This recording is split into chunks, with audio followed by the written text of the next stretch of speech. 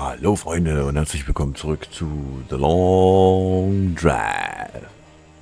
So, erstmal Entschuldigung für gestern, aber ich habe es äh, privattechnisch alles nicht auf der Reihe gekriegt. Ja, ich komme ja schon, bleib ruhig. Ich werde das aber so machen, ich werde die Folgen heute äh, über den Tag verteilt mal verteilen und rausschmeißen. Komm jetzt her. So was, Mensch. So, also macht euch keinen Kopf, es kommt heute alles von Long Drive bis zu Supermarkt, bis zu Internet, bis zu... Also nicht in der Reihenfolge, das entscheide ich dann, welche Reihenfolge. Äh, wo war ich jetzt? Bis zu Internet, zu, zu b, b, b, 1, 2, 3 äh, Truck and Logistics Simulator und dann zum Schluss natürlich bis zu Empyrean, was für heute sowieso, also die Folgen, die heute sowieso laufen, laufen heute sowieso, aber die anderen zwei kommen noch zusätzlich dazu. So, deswegen nicht lang schnacken. Wir werden jetzt heute mal hier den zurückdrehen. Ich weiß gar nicht, welche Richtung das ist. Ich sehe das auch gerade nicht richtig. Ah, jetzt ist es null. Okay. So, dann nicht lang schnacken. Motor an, Handbremse raus, Gang rein und dann wird heute nochmal Strecke geschrubbt. Das war vielleicht nicht so schlau. Aber er liegt noch dort, also wir schleifen ihn nicht mit. So. Genau, dann ist heute Ziel, äh, mal ein bisschen noch, wie gesagt, Strecke zu machen und vielleicht ein paar neue Spots zu ergattern. Oder zu finden. Ähm, ich sitze ein bisschen hoch, oder? Kann das sein? So, ist glaube ich besser. Vielleicht noch ein bisschen weiter hoch. Vielleicht ein kleines Stück nach oben. So, jetzt. Nach hinten müsste ich glaube ich auch noch ein Stück, aber na gut, nee, das müsste passen von der Sitzoptimation her. So, gut. Ich habe ja auch festgestellt, dass äh, gerade The Long Drive auf YouTube richtig steil geht. Gerade was jetzt hier, äh, wie heißt der, Chimneys angeht. Kann ich auch bloß empfehlen, den Kanal. Also Grüße gehen raus. Er macht das auch richtig gut. Ich finde es halt bloß traurig, dass er das Spiel jetzt erst entdeckt hat. Eigentlich nämlich schon, obwohl es wie gesagt sehr einfach gehalten ist, ist es schon ein richtig nices Spiel. Aber das passt halt schon. Und zu ihm passt es natürlich auch. Guck mal, da vorne haben wir doch schon was. Ah, das sieht aus wie eine Menschen. Zumindest, nee, das ist nicht ganz eine Menschen, oder? Nee, das ist eine andere Art von Menschen. Ist bloß die Frage, fahren wir da jetzt hin oder lassen wir die links liegen, weil die ist ziemlich weit ab von der Straße. Ich würde sagen, wir können uns das leisten und lassen die links liegen. Weil dann nehme ich lieber die Objekte, die direkt an der Straße sind, weil zu essen haben wir the eigentlich theoretisch auch genug.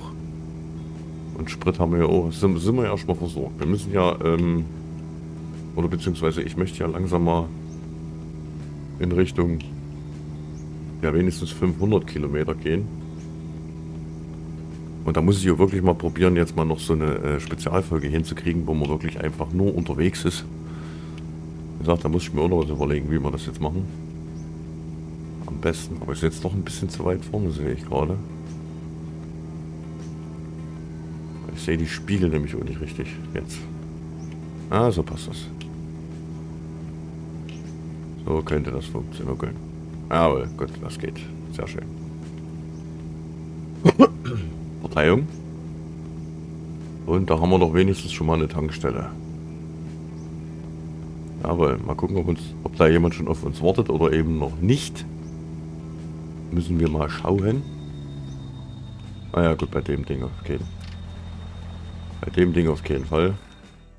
Hä? Ich habe da extra einen Gang rausgemacht. Warum ist der jetzt aus hier? Na, egal. Da bin ich aus Versehen auf I gekommen. So, was haben wir hier? Guck mal, Pistolenmunition. Das ist doch schon mal nice. Die können wir auf jeden Fall schon mal mitnehmen. Die lege ich mal dahin. äh. Leer. Leer. Ist in dem hier was drin? Ne, da ist bloß leer. Schade. Gold brauchen wir nicht. Benzin. stimmt, ich wollte ja was probieren. Haha. Zwar wollte ich ja gucken, ob wir die Kiste noch ein bisschen auf Ton kriegen.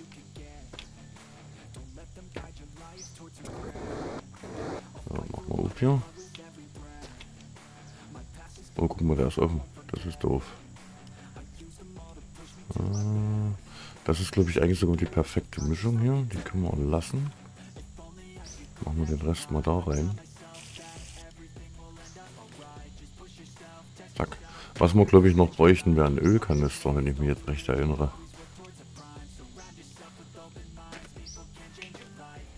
Also generell für Öl.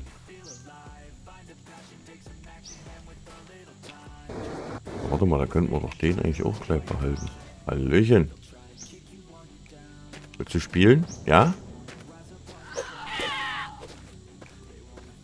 Ja, der wollte spielen. Wen getroffen. So. Nehmen wir den doch gleich mal mit. Ich weiß jetzt auch nicht, warum ich den gerade weggeschmissen habe. Warte mal, jetzt habe ich ja. Jetzt, ich höre doch schon wieder was. Guck mal, da hinten, da ist es.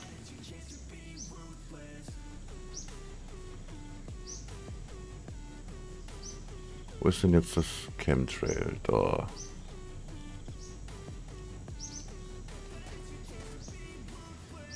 Ist er jetzt in die Richtung geflogen? Ne, der fliegt in die Richtung, oder?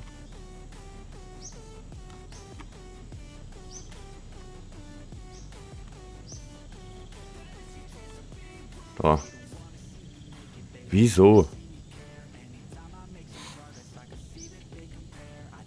Wahnsinn. Flugzeuge in the Long Drive. Ich hätte auch gern eins. Okay, da wird das Landen aber jedes Mal schwierig. So, ja, komm, den stellen wir jetzt einfach mal dahin. So. Oh, jetzt hier noch irgendwas. Der Fleppen brauchen wir nicht.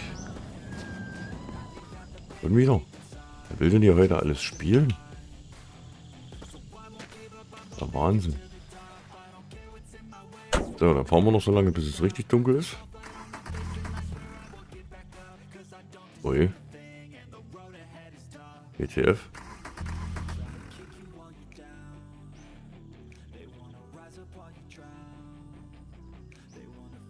Ist jetzt unbelegt oder was? Warte mal. Okay, ich krieg den Gang nicht mehr raus.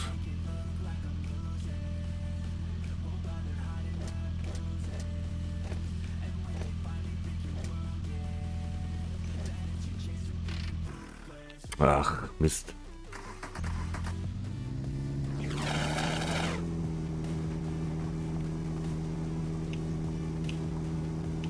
Oder wir machen heute einfach mal eine Nachtfahrt, ne? Nee, das habe ich mir schon für die für die Spezialfolge vorgenommen. Also das habe ich auf jeden Fall gemacht. Also was heißt für die äh, Spezialfolge, für die für Long Drive, für das Long, Long Drive Extra. Habe ich mir das schon als Nachtfahrt vorgenommen. Weil irgendwann muss ich ja mal den sauren Apfel beißen und nachts fahren.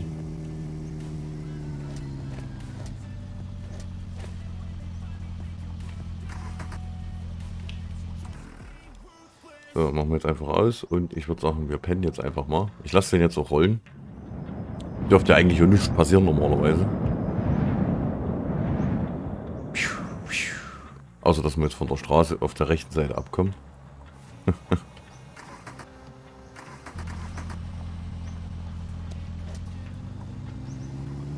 so, und dann wird jetzt weiter Kilometer geschrubbt. Oder so weit oben. Das ist halt ein bisschen blöd, dass er sich die Sitzposition nicht merkt. So, jetzt.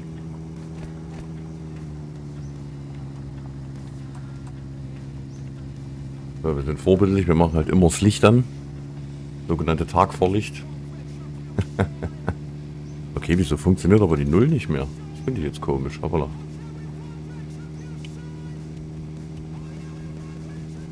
Ich kann mit Steuerung und Null den Gang nicht mehr rausnehmen. Da muss ich halt durchschalten, ist jetzt nicht schlimm. Ist jetzt nicht so tragisch. Muss ich mir halt bloß merken. Ich mal gucken, ob sich bei der Tastenbelegung was geändert hat. Weil eingestellt habe ich eigentlich nichts. Und ich habe übrigens auch nochmal bei meiner Einstellung durchgeguckt. Also ich habe selbst, ich habe jetzt selbst nichts gefunden, was jetzt irgendwie darauf hindeutet, dass die äh, Kistenteile, die man jetzt quasi hoppala, aufschlagen kann, dass die quasi verschwinden. Also warum die sich auflösen bei manchen, warum sie bei mir jetzt sich nicht auflösen, keine Ahnung. Weiß ich nicht. Wie gesagt, das Einzige, was ich jetzt ausgemacht habe, ist, weil ich es einfach nur nervig finde, ist das Gras. Das habe ich halt ausgeschalten. Ansonsten muss ich ganz ehrlich sagen, läuft das äh, Spiel so mit den Standardeinstellungen, wie es halt auch ist. Und äh, ja, es läuft, es läuft, es läuft.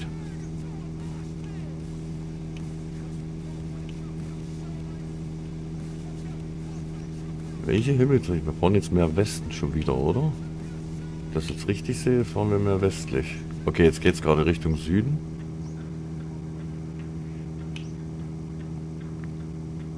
More in the south.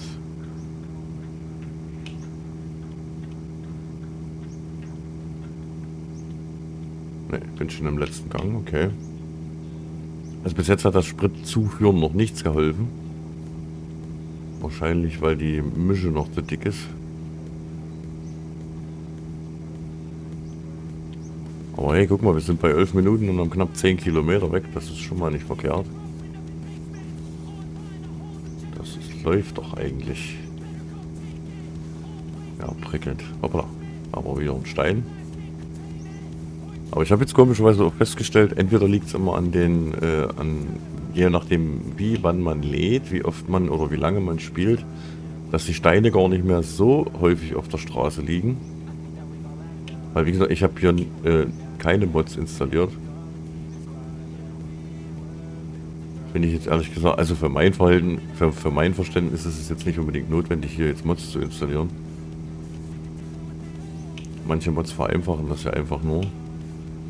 Also ich habe jetzt nichts gegen Mods, Mods, um Gottes Willen. Jeder soll so spielen, wie er möchte. Bei äh, Supermarkt Simulator habe ich ja auch Mods und die sind wirklich hilfreich. Da wüsste ich glaube ich gar nicht, was ich ohne Mods äh, machen sollte. Da würde ich zumindest genug Content zusammenkriegen, wenn, wenn ich keine Mods hätte. also wird es mittlerweile gerade ein bisschen schwierig bei, bei Suma. Bei Suma Sim.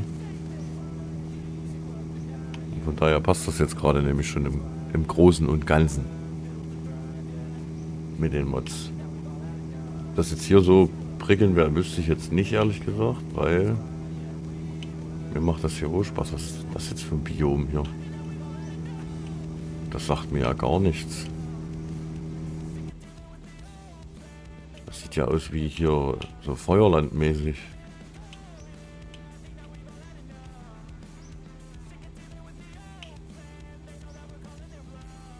Wow. Also Wüste ist es schon mal nicht.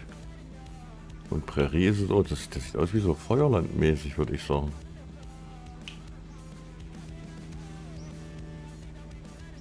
So wie bei, äh, bei Seven Days to Die in, der, in, in, in dem Feuergebiet quasi.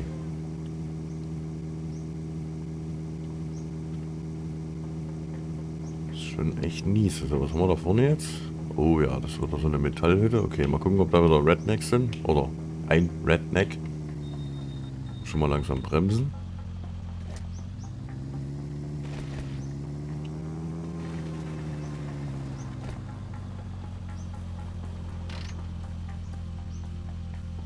So. Motor aus, kannst ja schon mal abkühlen. Licht natürlich auch aus. So. Ich höre jetzt noch keinen Laubern. Hallo? Was bist du? Ah, du bist bitte alles klar. Das ist von der Dings. Scheint auch keiner zu sein. Ganz allein, allein, allein. Guck mal, Benzin und Öl, 55. Die Mischung ist komisch. Ne. Hier ist keiner. So, die Kisten gucken wir gleich. Hier liegt noch eine Rückbank. Hm, Rot. Rot. Probier mal. Verdammt. Hätte ich gesagt, probier mal einfach mal, aber okay. So, was ist da drin? Leer. Gut, wir den nicht mitschleifen. So, da müssen wir gucken mal in die Kisten. Da ist hier nicht wieder alles verplatzt. Kisten aufmachen. Das war so klar.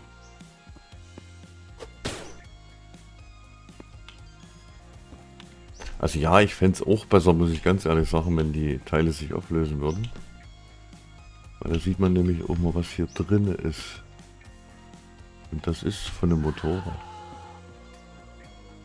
Ja, ist ja gut, ich komme ja schon raus.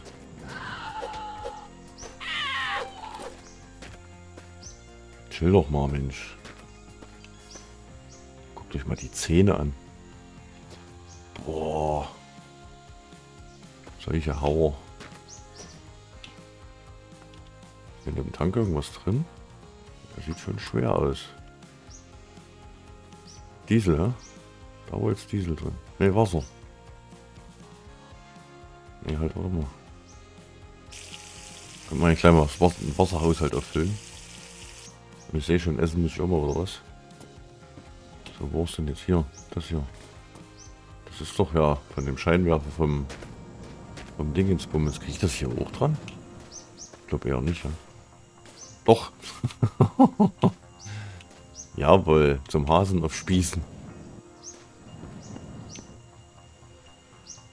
Der Hellboss.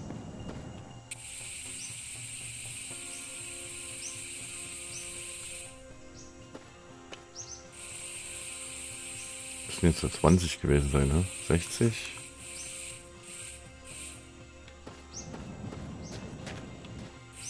Wir machen mal Mehrfarbigkeit. So. 40 und die letzte Tür.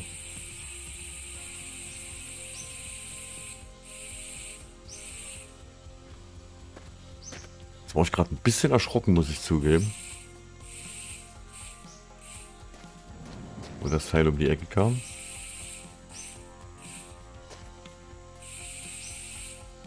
Oh, guck mal, es geht sich genau auf. Ja. Das ist krass. So. Jetzt haben wir nicht mehr dieses Eintönige, jetzt haben wir ein bisschen Farbe ins Spiel gebracht.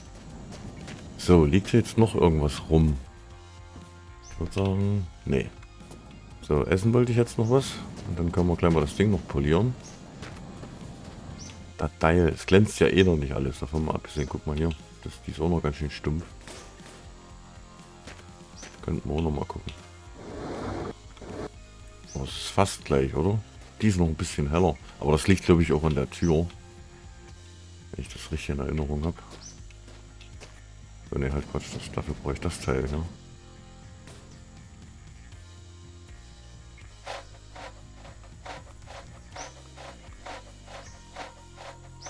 Mach's mal sauber. Jawohl, nochmal eine Runde. So, die Bürste ist durch. Gleich wieder ein bisschen Platz im Auto.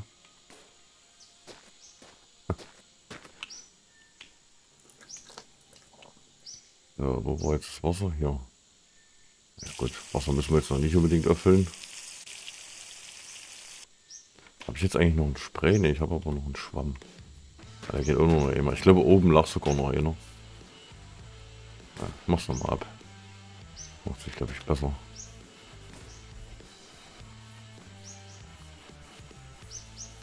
Ah, na komm. Shiny, shiny. Oder muss ich dann nochmal mit der Bürste drüber? Ich glaube, da müsste ich sogar nochmal mit der Bürste drüber, hä? Springt schon wieder irgendwas gegen mein Auto? Nee. Die scheint auch schon fit zu sein, oder? Hier wird doch nichts mehr. Hm. Bauen wir es wieder ein. Okay. Spiegel ist soweit fit. Okay. Dann gucke ich mal, ob ich hier... Aber ich glaube, hier war kein Spray. Ähm, dann probiere es nochmal mit einer Bürste. Erstmal erstmal den Schwamm wieder rein. Haben wir Gott sei Dank noch ein paar Bürsten.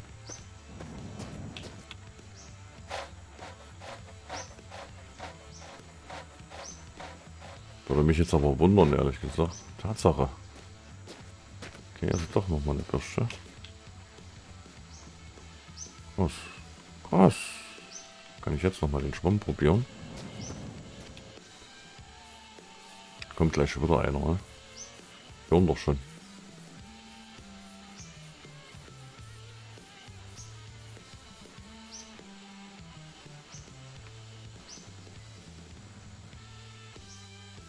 Oh ja.